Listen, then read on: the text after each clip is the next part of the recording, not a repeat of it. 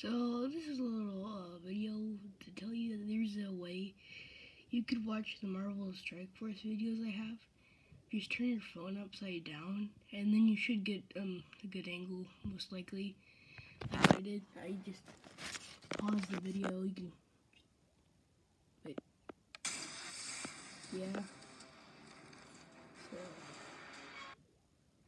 it's a way you could watch so yeah, I just wanted to do this little video so you know how to watch it good. So.